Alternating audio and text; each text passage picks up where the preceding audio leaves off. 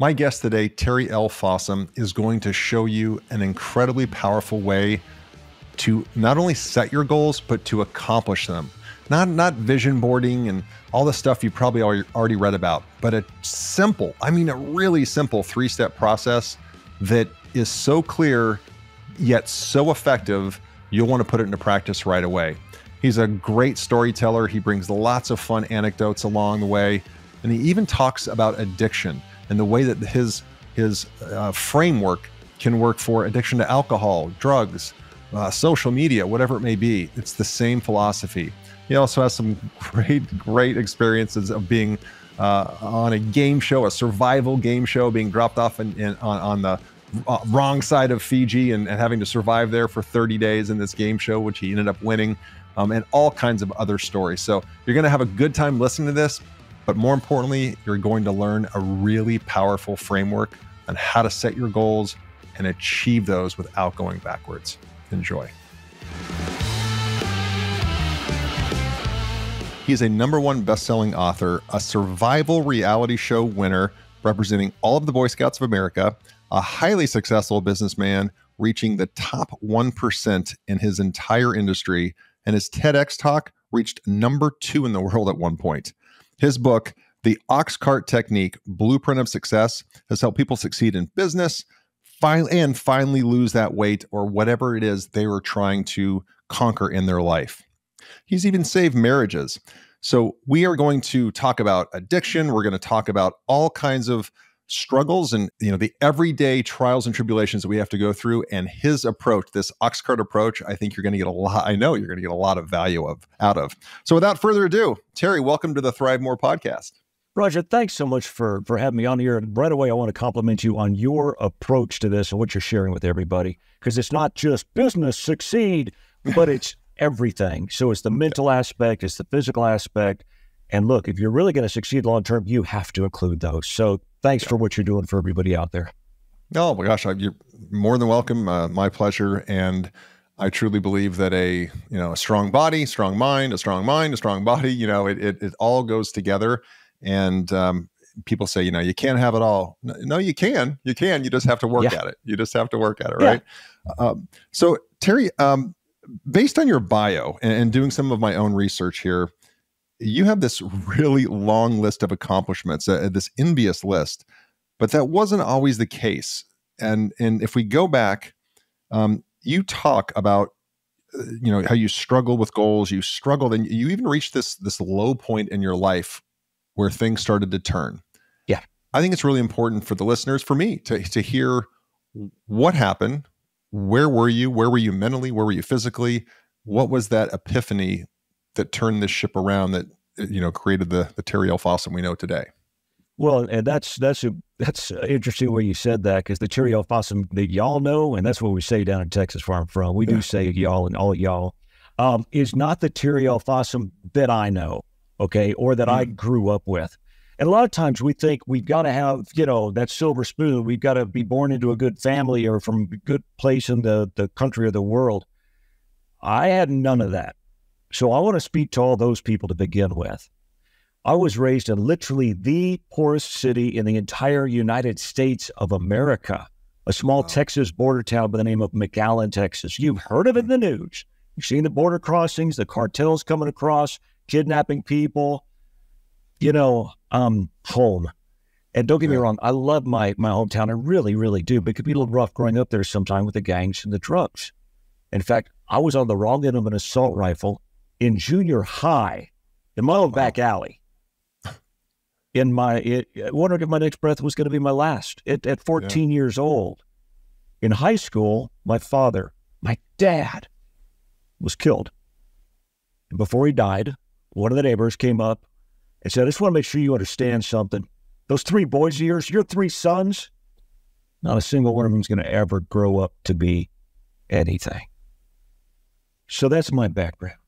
Oh so for gosh. everybody out there with all the the self doubts and the fears and you know why would anybody listen to me? Or I don't know if I can do it. I don't know if I can make it. I don't I don't know if I've got what it takes et cetera et cetera. Listen to me. Listen to me. You do. Okay? The past doesn't equal the future. You know that. But it's that struggle in between the two that makes all the difference in the world. And that's what we're going to talk about here Yeah. today. Does that does that Yeah, get us yeah. to where you wanted to be so far, Roger? Yeah, yeah. I, I, I'm. I would love to know. I think the listeners too, kind of your background. So I think you go into the military, right, at a, at a, younger age, and then you, um, you decide that's not going to be your career, and come out and just kind of walk, bring us up to speed, if you will, because then I want to talk about the reality show, and I certainly want to talk about your book and, and your principles.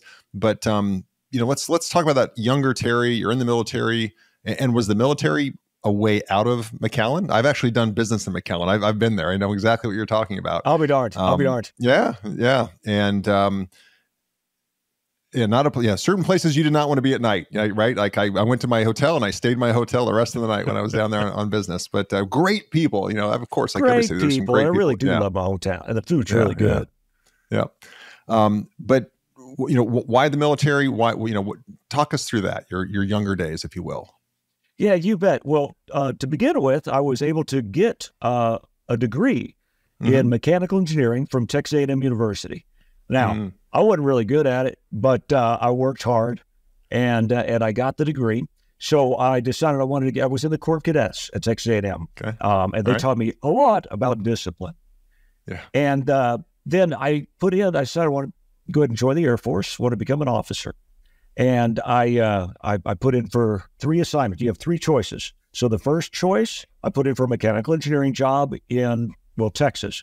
My 2nd Mhm. choice, mechanical engineering in Texas. Texas. And the third choice, though, was mechanical engineering. You guessed it, in Texas. Now, the Air Force considered my options and threw them all away and gave me a non engineering job. I worked hard for that degree, man. A non engineering job in somewhere called Spokane, Washington. and my exact no, well, yeah, yeah, yeah. I know you're my hometown. I know it. Know it. Yeah. Love it. Yep. And I was not. And my exact Yeah. quote to the colonel that gave me the assignment was, That sucks, sir. I said, Sir. But then I got up here and uh, learned, first of all, it's pronounced Spokane. And, um, and I met the people. I got into the community immediately. Amazing people. I got into the mountains up here. I fell in love with it. The Air Force job was fascinating in that I was spearheading a brand new career field in the entire Air Force. I was Hmm. part of just 12 people in the first class. So when I got here to Fairchild, they're like, okay, what do we do with you? Now, I was what was called the adjutant for the 325th Bombardment Squadron. That's a nuclear warfare uh, squadron uh, during the Cold War. And they didn't know what my job was. Okay, I've got two choices here. Either I can stumble and fumble and go, well, nobody knows what my job is. I'm uh, nobody. This sucks, man. I don't know. Or I can go, oh, let me tell you what my job is. I chose the latter of the two, Yeah. and when when given the choice, chose. And Hmm.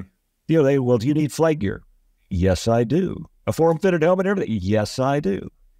And I'll, I learned a, a huge lesson. I'll, I'll say this so we can move on from here. I'm in battle staff one day during a nuclear war exercise. Now, this is the real deal. You've seen in the movies, battle staff, the big room, classified boards around, and we're preparing for a nuclear war. And I'm sitting around the table. I had a position at battle staff, me. And I'm sitting there with a whole bunch of old war dogs, man, who had been there, who had done that. And uh, and they had the spice to prove it and the scars and the the look as well. And this bright, shiny new colonel came in who did not. And he's going to be, he's third in charge of the base. He sits down, so he's going to be in charge of the battle staff for the next 12 hours. And he walks in. I'm like, oh, gee, here we go. You know, they're going to eat this guy alive. And he walks in, he dings the bell. There's a bell there when somebody wants to talk. That's the way you do it. He dings a bell, gets everybody's attention, goes, let me tell you how I run my battle staff. When you're in charge, take charge. Mm. He did, and it was amazing what the people's response was around him. From there, though, I started a little business on the side, direct sales business. And uh, yeah, I don't know anything about sales. I'm a nuclear warfare officer. I'm an engineer. We're not known for our personalities. And in the nuclear warfare, nobody wants what you're selling. But I decided to give it a try. And, uh, well, let me put it this way I sucked. I was terrible. I was horrible. Oh my God. I didn't. And I, listen, Roger, I failed and failed. And I tried and I failed. And I'd learned all the self improvement I could. everything I could get my hands on. I mean, I am feeding my brain. I'd go to the seminars, the audio series, video, and books, everything I could on goal setting. And I tried and I failed and I tried and I tried for years, Roger, for years. And I failed. And I got to the point where I just couldn't fail anymore. Yeah. I couldn't do it. I, I gave up. And I walked into the restroom, into my bathroom, and I looked at myself in the mirror. Said, he's right. You're never going to grow up to be anything. And uh, no, wait a minute. No. No. No, damn it. For the sake of the memory of my dad, if nothing else, I refuse to let that son of a gun be right. And something happened right there at that moment. Something happened. Something clicked inside of me. To be perfectly honest, I got pissed off. Sure. And I got up and I brushed myself off. See, there's two ways I could have gone. We all know the direction I was going, and I could have made that choice. Give up. That's it. I failed and I failed and I failed. I'm not good enough. I'm not smart enough. Apparently, I'm not supposed to go this direction. I'm never going to grow up to be anything. Or by God, you can fight back and keep fighting. I got up, I brushed myself off. And I started facing, you know, I got back at it. I started facing the same obstacles I did, the same setbacks and the nose, and you're an idiot and everything else. But now I did it from a new perspective.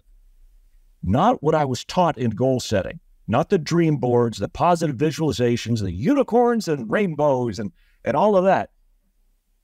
But rather, I had something not to go just toward the carrot, but something to go away from the stick, never grow up to be anything. Hmm. Not knowing that I was applying some Nobel Prize winning science, we're going to talk about in a second, it worked. It yeah. kicked me in the butt. It kicked me out of my comfort zone and into my conquer zone and my whole world changed forever. This segment is sponsored by Rockbox Fitness Franchising. Take control of your destiny and join the boutique fitness revolution with Rockbox Fitness. If you're ready to make a real impact in your community and own your own business that empowers people to achieve their best life, then Rockbox is the opportunity you've been looking for. They provide comprehensive support from site selection, upfit, training, and turnkey marketing so you can open your studio with confidence and a strong recurring revenue member base. Visit rockboxfitness.com and click on franchise opportunities to learn more about this exciting venture in the fast growing boutique fitness industry. It's time to turn your passion for fitness and for business into a thriving venture.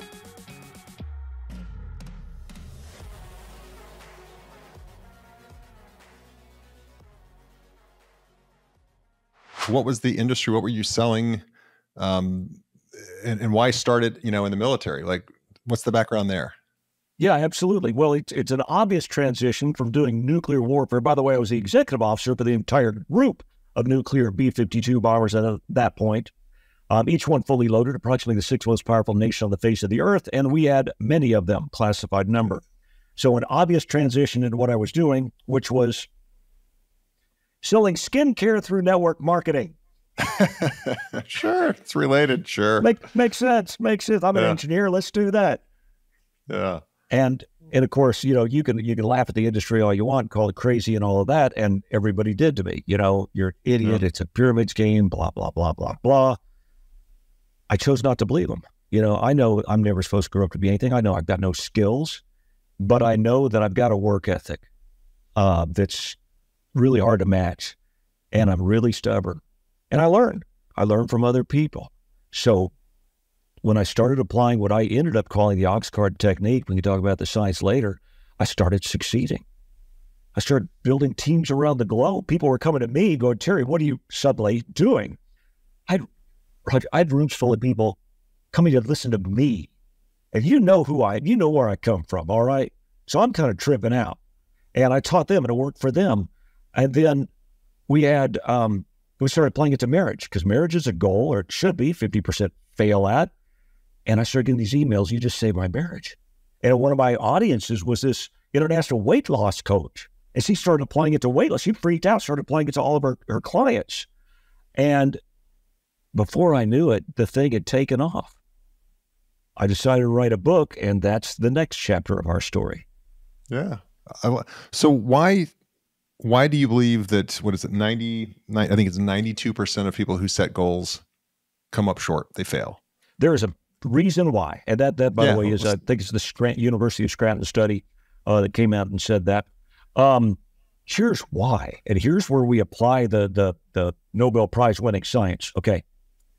In fact, let's go ahead and do it. Uh, let me quick quick background. I started putting this into a book, but being an engineer, being a science geek, true scientific research is not trying to prove yourself right. It's trying to prove yourself wrong.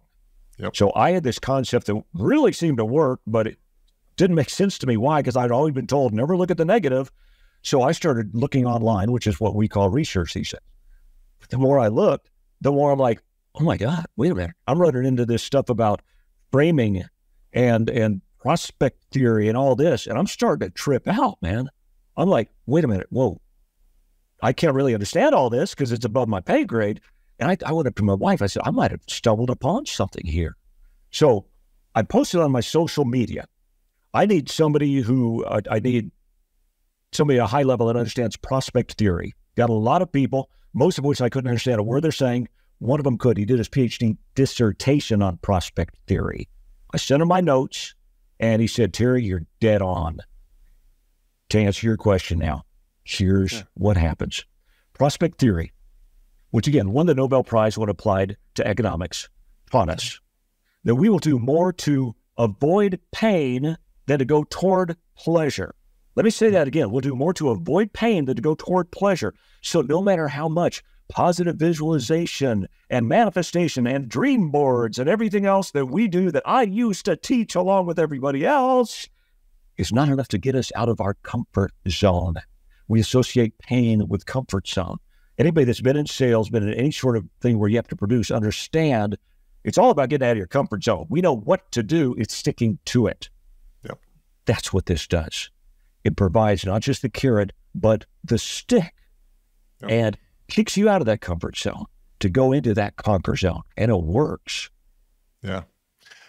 I mean, that's FOMO and and uh, fear of loss is so much greater than than the fear of gain. And I would I've interviewed so many entrepreneurs and business people and very successful athletes on the show, and almost all of them will say I had a much much bigger fear of failure. I, I'm I'm in that group by the way.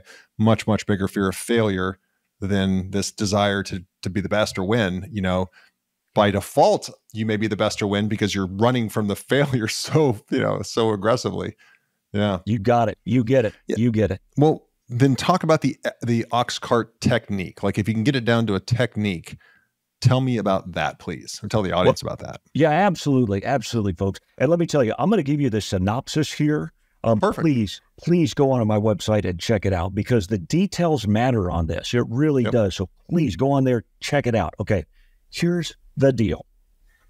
Three pages. It's all it is. Three pieces of paper.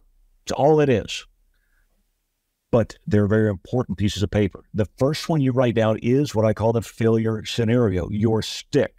And it's important you do this emotionally because emotion, not fact, is the driver of all action. If we create enough emotion, it'll get us to do anything. There's gobs of stories about exactly that.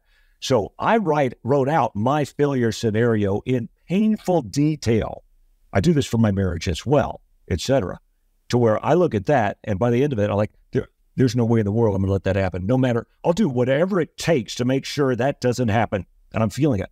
What does it take? Page number two, your daily action plan. This is your bridge from failure to success that'll determine whether your future is your failure scenario or your success scenario.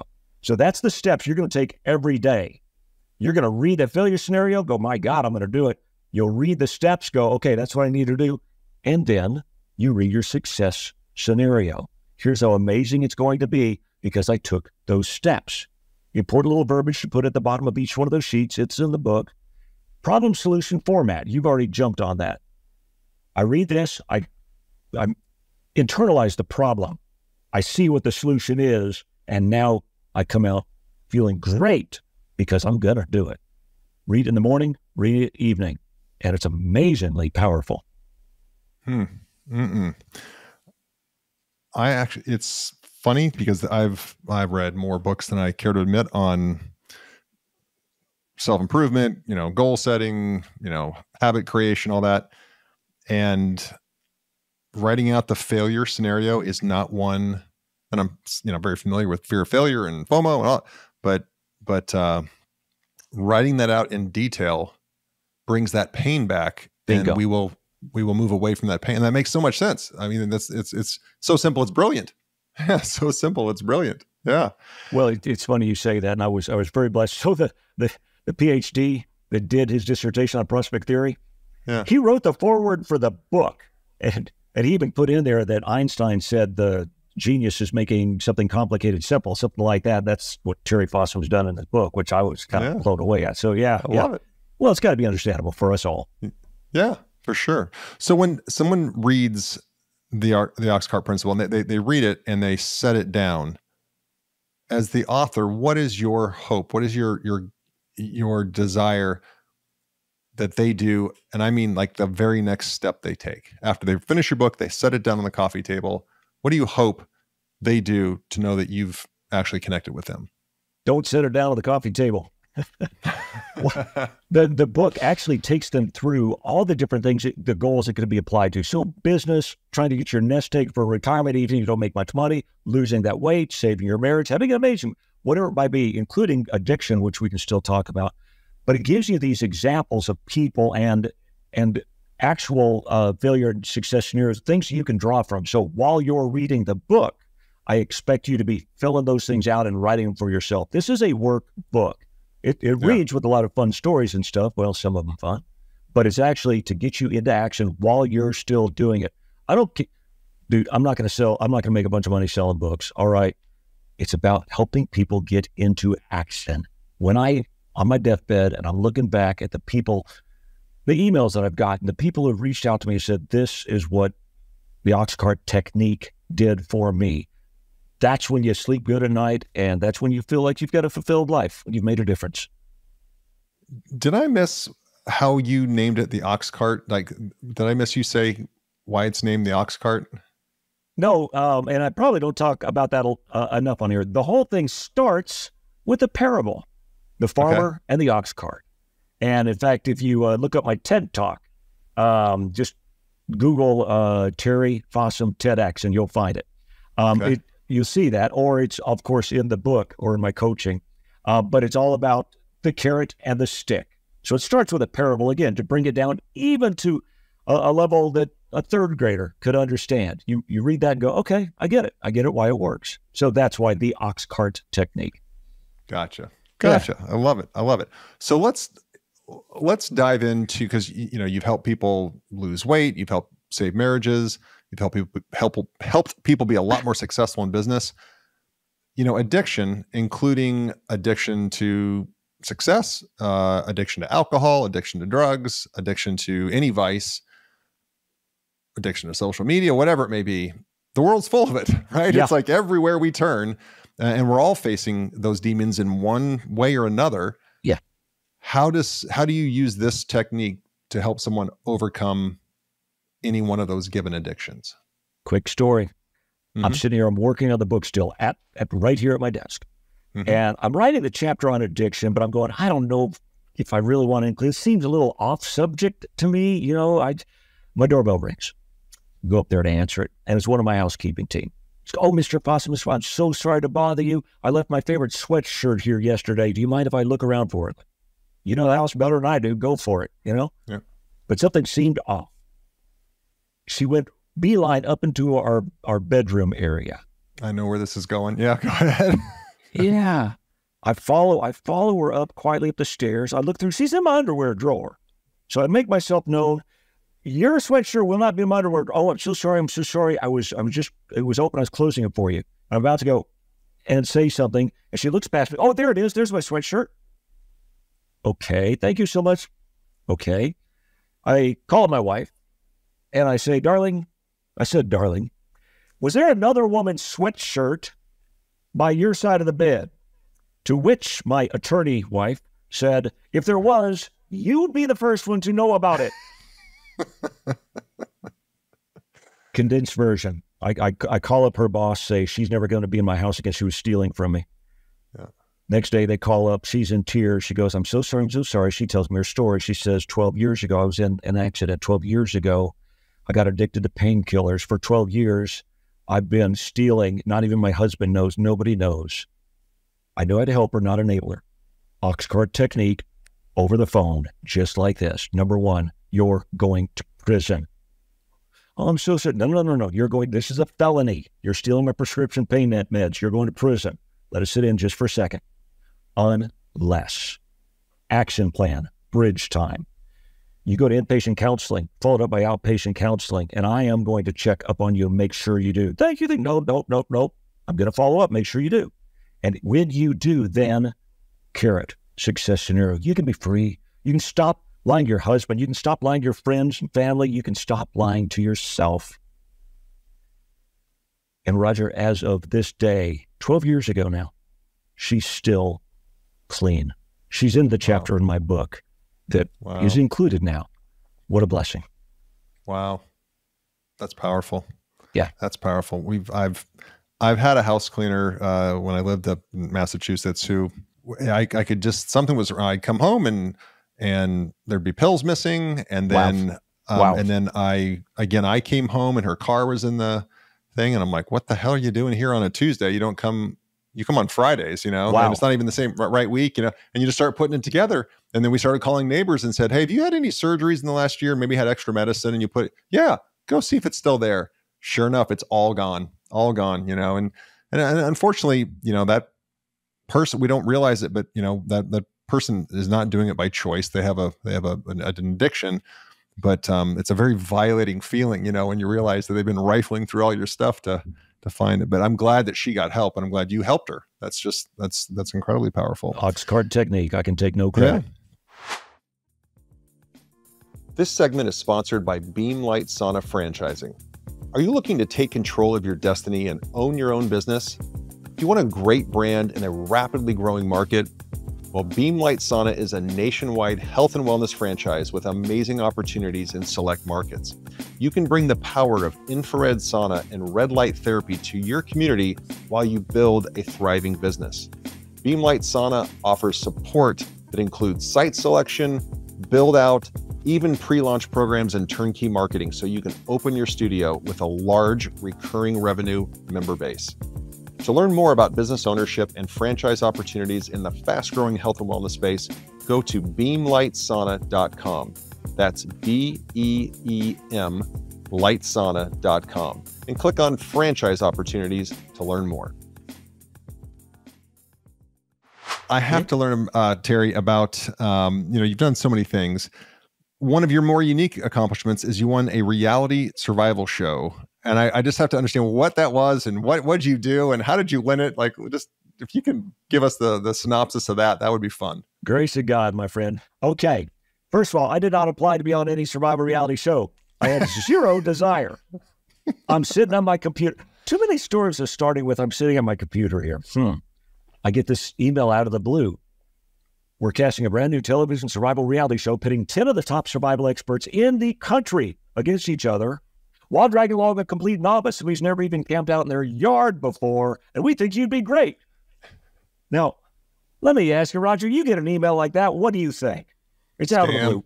Yeah. It's spam. It's fake. I'm waiting yeah. for and send six thousand dollars to Nigeria. You know? exactly. Yeah. But it ended up to be true. And I told my wife, I really don't want to do this. Now let's let's uh, I'm cutting out a lot of the fun story sure, for, for time's sake for your podcast. But I found out I was going to be the oldest person on this entire show. My wife's laughing at me. So, oh my God, you're the Tog. Tog, what's that? You're the token old guy, dude. Thanks, dear. and they wanted me to be representing all the Boy Scouts of America while wearing my Scoutmaster uniform. So, first of all, it's cute they got the old guy on there, but he gonna die. Now, oh, yeah. oh, they got the little Boy Scout on there. He gonna die. And I'm against special forces guys. I'm against military survival instructors, fourth degree ninja black belt that I had seen on Naked and Afraid All Stars, except for the fuzzy parts, and the fat old scoutmaster. They teamed me up with um, blue hair, fully tattooed up, tongue ring, atheist, admitted sex addict, online video gamer. Now, let's be fair. They come, the novices come up in a boat. They got all of us survivalists there. She's seeing all these young studs, you know, military, mercenary, and everything else. At the Federal Scoutmaster High, no chance we're going to win. No chance. The executive producer told me afterwards. But I got to give a plug for scouting here. Um, first of all, scouts, you know, know more than we think they do. And I, I came off, they were going, now I worked hard ahead of time prepping. That's a whole other story. But going, wow, I, I knew more than I thought I did. But also, we take people from all different backgrounds race, color, creed, religion. We don't care. We don't care about their past. We develop their future. That's all I did with my partner. She was strong. We look on the good side. She was strong. She was strategic. She was smart. I couldn't have won it without her. But by the end yeah. of it, we did. That is a where, where was it at? Where was it? Uh, like what what part of the world were you doing this in? It, it was on Fiji, not the nice parts. It's basically yeah. around where Survivor's being uh, filmed now every single uh, season. Gotcha. Yeah. Gotcha. That's how long was it? How long was the the entire experience uh, of actually, you know, from the time the game started to yeah, game. Oh, yeah, yeah. We are we are immersed in the jungle for over a month. Now, one of the things I did in prep though is Holy I flew moly. into the Amazon jungle. Yeah, but I flew into the Amazon jungle and uh, and practice survival in the Amazon jungle before going on to uh, this show, so I could because I've done I've done cold survival, you know, solo trek in the Arctic Circle. I've yeah. hiked to the mountains of Rwanda looking at the silverback gorillas, but never jungle survival. Yeah. And uh, of course, they had us eat really, really nasty things, but that's part of it. oh, wow. Well, when you get home, though, you're even more grateful for everything and all the creature comforts that we have when you when you get back home after a month like that. I'm sure. And I lost 25 pounds, so I was looking a whole lot better too. There you go. There you go. That's you know, and your your uh, failure scenario is I could die out here. So you know what? This is not bad. Like this, anything besides dying is a win. Yeah. You know, worse than that, in all honesty, for me, because I, I, fortunately or unfortunately, I have no fear of death. Yeah. But I'm representing all the Boy Scouts of America. Sure. The entire world is judging Boy Scouts based on me. Yeah. On camera, 24 7 for over a month while starving, while sleep deprived, deprived under all that pressure. Now, there's a challenge for you. That yeah. was my failure scenario. Wow. Wow. Love it. Love it. Cool. So my listeners know I'm an avid reader. I I love to devour self help, um, self improvement, business books. I love business biographies. Is there a book that you could recommend? Obviously, and you can't pick your own. That's cheating. Um, but but a, a, book that you could recommend, Terry, that when you finished it and you set it down, you know, you realized I am going to think about this differently. I'm going to act differently. I'm going to set a goal differently. I'm going to approach my work differently. And I'm sure you've read many. Is there one though that really sticks out that you would recommend to the listeners of this show? So I I love reading stories of people overcoming. Mm-hmm. Um, I I love that. Plus a lot of uh, historical biography, etc. Um, one of my favorite ones recently is Boys in the Boat. You know, they just made a hmm. movie out of it as well. Yeah, that's right. They did. Yeah. Yeah. Yeah. What what an amazing and it takes a lot to keep my attention, quite frankly. I'm about as ADHD as you can possibly get. But that one, I, I love those stories because they remind me no matter what my background is, that I'm never going to grow up to be anything, et cetera, et cetera, et cetera. That you can.